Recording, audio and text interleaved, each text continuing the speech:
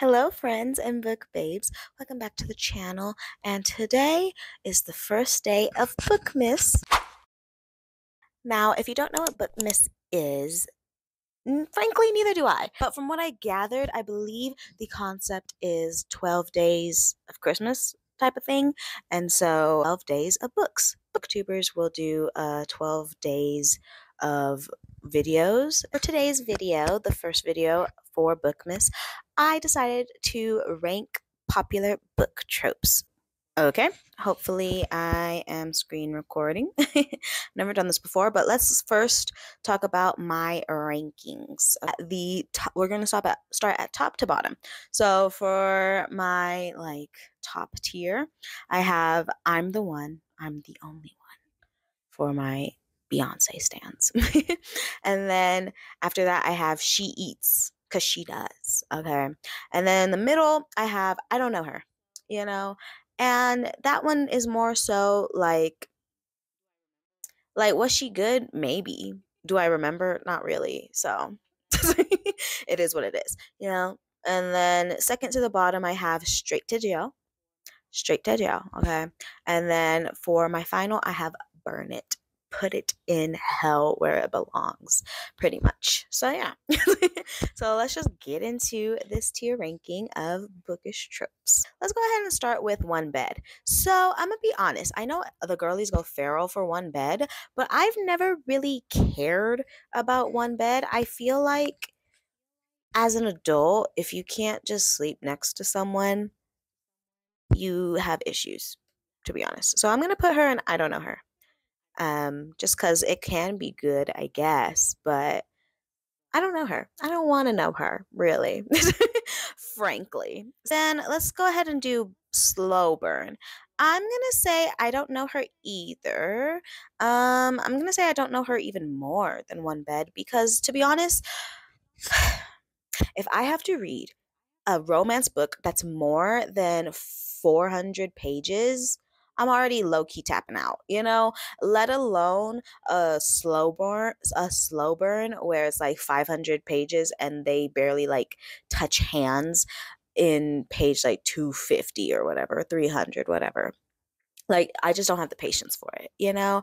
Like when it's when i'm reading a romance i just want a quick little fluffy let me kick and giggle my feet for what let me giggle and kick my feet around type of thing real quick. I don't really like that's just too much work in my opinion. So, yeah, we don't know her. Um then let's do bad boy nerdy girl. I actually I actually really do kind of enjoy this trope. So we're gonna put her in She Eats. Uh, granted, have I read something like that since my Wattpad days? No, so it could be terrible now. I don't really know. But I remember back in the day, I would eat that up. And vice versa when it was like the bad girl and the nerdy guy. I especially like those too. I don't know. It's kind of it's giving opposites attract. It's giving uh, we learn from each other because we're so different, and we end up bettering each other because like we find the balance of our stuff. You know. So I actually really enjoy it. Mafia romance. Now she eats more more so than bad boy nerdy girl. Honestly, I haven't really read many mafia romances, but I like the idea of it. Pretty much is what it is. Let's be for real. Okay. I hate everyone but you. I'm actually going to low key. I don't know her because honestly so it depends on how it's done because most of the time when it's a i hate everyone but you they're usually like very rude to everyone but her and I don't like that. Like, you need to at least be a functioning human that understands how to treat others, even if you don't necessarily like them. Like, you don't have to be a people person. Like, I'm not really a people person like that, but I still know how to be polite, you know? And if you're a grown man and you don't know how to, like, be polite or like have just a normal conversation with someone without being a dick, then I don't want to know you. I don't care if you're nice to me. Get out of my face, actually. So that maybe that's a hot take. I don't know. but teacher, student, we're gonna. Well, the appropriate would probably be like literally straight to jail, you know, but we're going to put it in burn it because actually, no, we will put it in straight to jail just because I think a teacher student thing could work if it's in a college setting and the teach and the like student is in her like last year or whatever um or they're not in classes together at all like he's not the professor of anything she teaches then i think it could work um but they have to at least be in college like they cannot they cannot it cannot it cannot not be college you know a doc like freaking your doctorate program or something like that like it has to be like that or something for me to get behind it so we're gonna put it straight to jail because if it's not that then they should go straight to jail so yeah and then we have childhood friends to lovers i'm gonna put she eats and we're gonna put her actually over the mafia romances. I think childhood friends to lovers, it really hits. Honestly, yeah. yeah, we're to put it in I'm the one, I'm the only one because it just it hits so much more than friends to lovers and since I'm talking about friends to lovers, where is it? Let me find it. Here it is. We're to put Friends to Lovers and She Eats, childhood Friends to Lovers, and I'm the one, I'm the only one. Because I don't know what it is. Like, I don't know how to verbally ar- articulate, like, why it's better for them to be childhood Friends to Lovers compared to friends to lovers but it just it just hits better because i just love seeing the like little flashbacks of them as kids and being like cute or whatever and adorable or even if they hated each other in in childhood like that's fine too. But i don't know. Childhood friends to lovers it just hits even more than friends to lovers to me. Since we're talking about that enemies to lovers also we're gonna put her above childhood friends to lovers because it just hits different. You know, I saw a TikTok once where someone was like, if enemies to lovers is your favorite trope, it's because you uh like the idea of being able to show the worst parts of you and someone still loving you. And I think that checks out, you know? And I think that concept is just beautiful, you know? like when they're enemies to lovers, that means they're not putting up a front. You know, it's not like the first date, like, let me show the best version of myself. Like, if they hate each other, they're not going to like hold up a front at all. And these people still fell in love with each other, you know? And so it's like, you know that they're in it, they're in it for life you know and I think that's also why I like childhood friends to lovers because if you knew each other as children, then you totally have had to see like every like the good, the bad, and the ugly of said person, and you still chose to love them. Yes. okay. Bully romance. Burn it. Burn it. Get it out of my face. No exceptions. Step siblings also burn it. Probably more than, yes, more, I think. More than bully. Step siblings. All I think about is ugly love and it triggers me. So, yeah. We're just gonna move on from that. Um, Grumpy Sunshine. She eats. Now, hmm, she eats more than Mafia for me. Um, Mm, see, Grumpy Sunshine could be a friends to lovers thing too.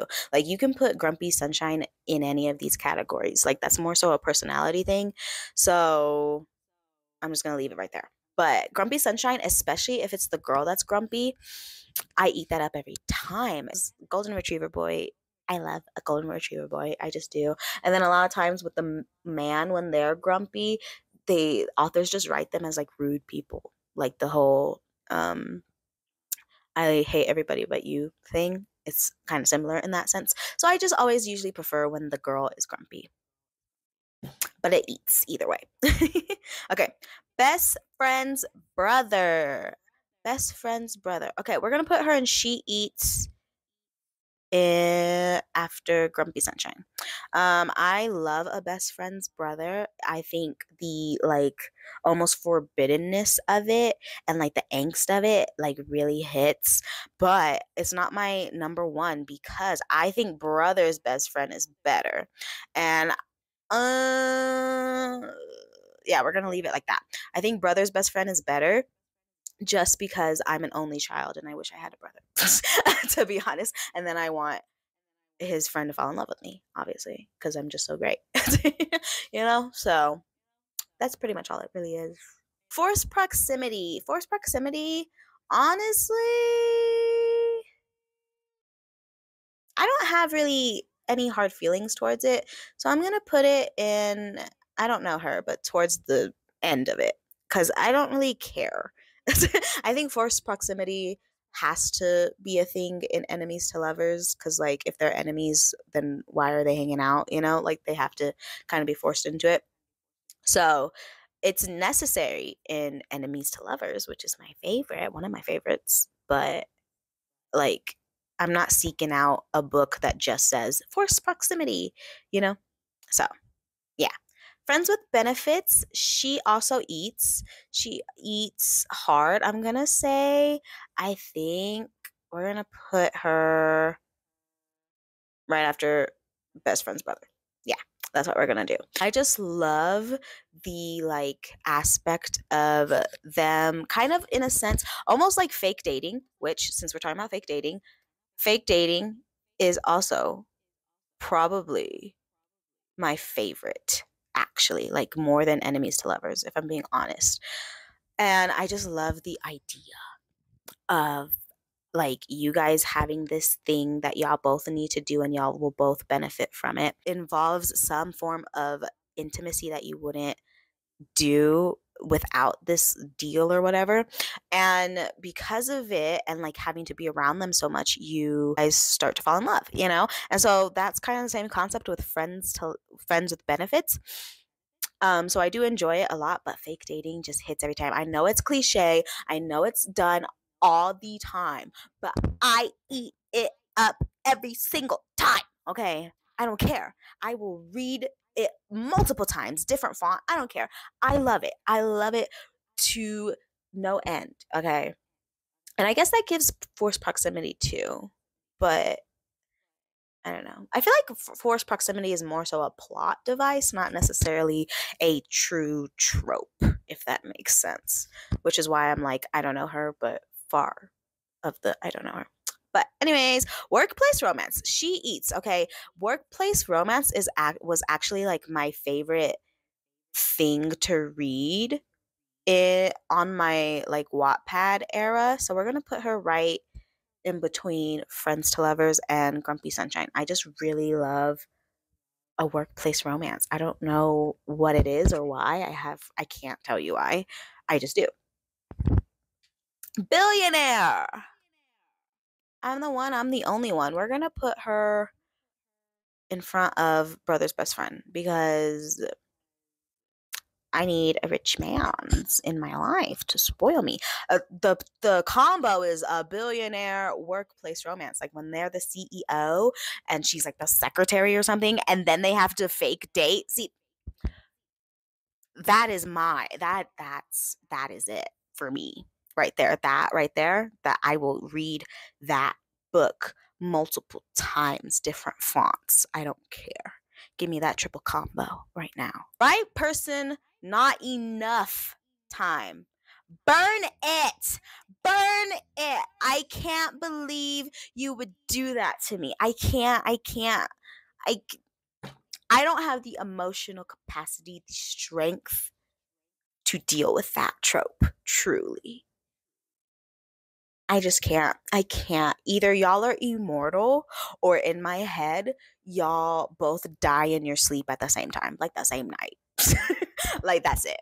I can't do it. I can't do it. I can't. I will not. I true I will not. Age gap. We're going to put her in straight to jail.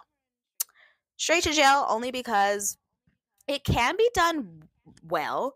Like right now I'm reading um The Brightest Light of Sunshine or something like that and she's 22 and he's 30. Um which isn't too bad. I've been eating up the book a lot. Um but also at the same time like I'm 24 and I can't imagine dating like a 30-year-old. But I don't know. So it's not for me. Like I don't think I'm built for age gap in my actual life, but this book I'm eating up. So it could be done well. I just hate whenever they're like 18 and he's like 40 or like she's tw- 20 and he's like 35 but he also saw her one time when she was 15 and hasn't stopped thinking about her since like you cannot you cannot have met her you could not have even seen her crossing the street before the age of like 19 and then maybe I can get down with it, you know. And she has to at least be like 21, um, or the whoever's the young person, you know, they have to at least be 21 and up, you know.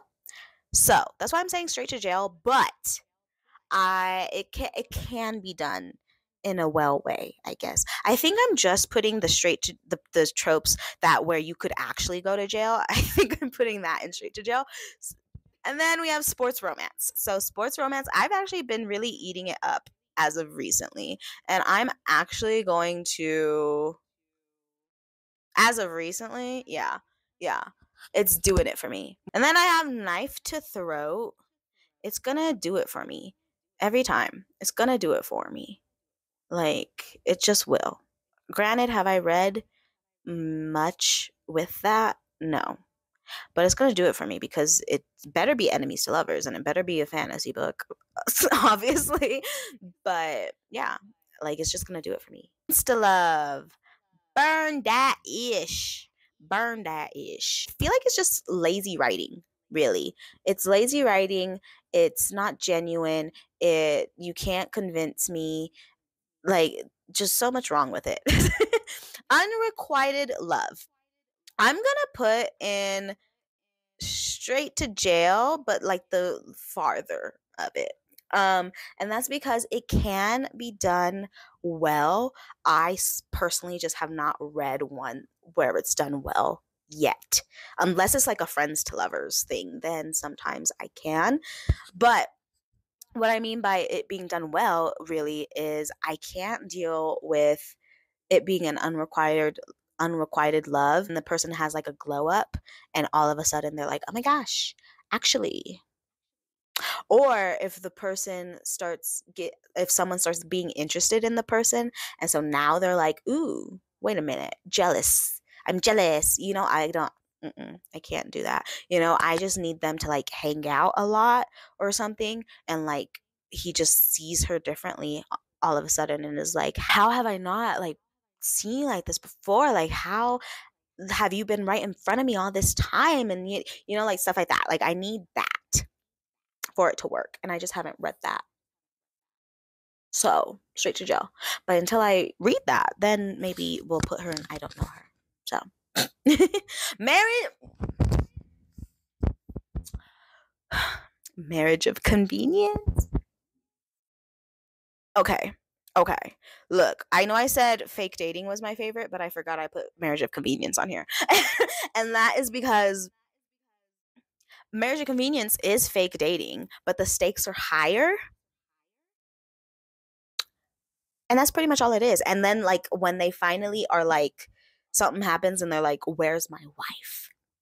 It eats every time. It eats every time. Especially if you do, ooh, if you do the marriage of convenience enemies to lovers billionaire, it's over. Workplace romance, possibly, but like CEO, he's the CEO, so he's like a billionaire. so, yeah. I love it. I love it. It's my. Oh, I love it. Okay. Anyways, pregnancy. Okay. okay. Listen, I know some of y'all are going to be like, What do you mean? Straight to jail. Why aren't you putting it in burn it?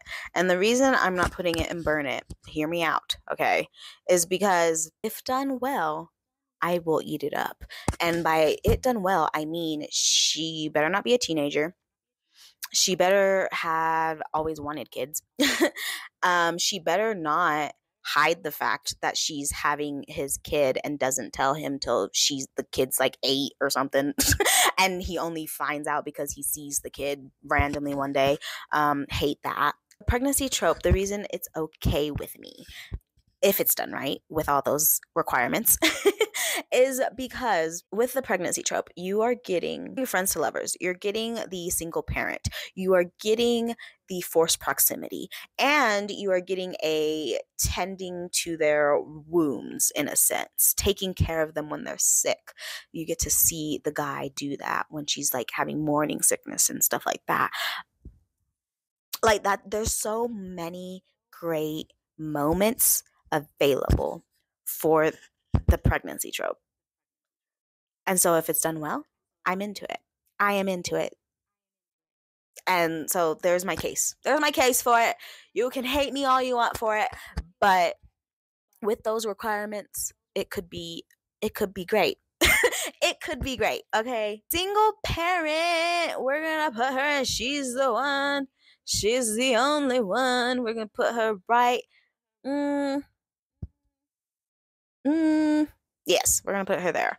Okay, I think I prefer single mom more than single dad. I know everyone loves single dad, but I just think about the fact that like so I I'm a self-inserter into the story. So like I just think about how I would have to be a stepmom and I just mm, doesn't really like nah, you know? I'd rather have the guy that I'm not the stepdad, I'm the dad that stepped up. I'd rather have that energy than like stepmom. Love triangle. Okay, we're gonna put her in straight to jail, right in between teacher, student, and pregnancy. And that is because the love triangle can can be okay if they end up with who I want them with. And that's that. Okay, second chance. Second chance romance. I'm going to put her in I don't know her. And the reason and I'm going to put her um in front of forced proximity. And the reason we don't know her is because it really just depends on like why they need a second chance. You know, why they need a second chance. What did they do? Um so, it depends on that and then i could probably get on board second chance romance with a friends to lovers is where it really hits for me last but not least cheating cheating oh my god okay. I'm gonna put her obviously and burn it. Where should we put her? Because we have step siblings in here. I can't freaking i can't have cheating be number one and then freaking step siblings be number two. Oh my god. Um we're actually going yeah, we're actually to put her here. In between right person, not enough time and cheat and oop, not there and bully romance. That's where we're to put her. And actually, I forgot to put one that I just thought of that I actually hate more than cheating. Hear me out. Okay. A lot of people, a lot of writers nowadays know that we hate the cheating trope, and so they're not going to use it a lot of times with the couple that's supposed to be endgame. Okay. They'll do it for like the ex that no one is supposed to root for, anyways, a lot of times. So I don't read very many books where the endgame couple also cheated, you know? And so since I'm not exposed to that very often, the rage of that is not there as much compared to the miscommunication trope. I loathe a miscommunication trope. I would honestly probably put that in front of step siblings. I might. I might actually. Ugh, at least in front of right person, not enough time. Like I hate the miscommunication trope so much that I'd rather read a book of their loved one dying. Like and I hate it so much, I think, because so many books use it because they don't know how to make a third act conflict if it's not involving miscommunication. So they just utilize it so much for no freaking reason.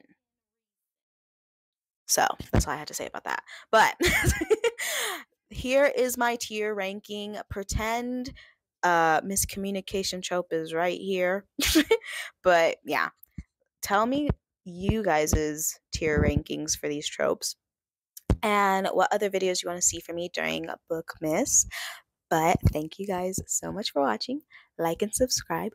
Follow me on my socials, and I will see you tomorrow. Bye.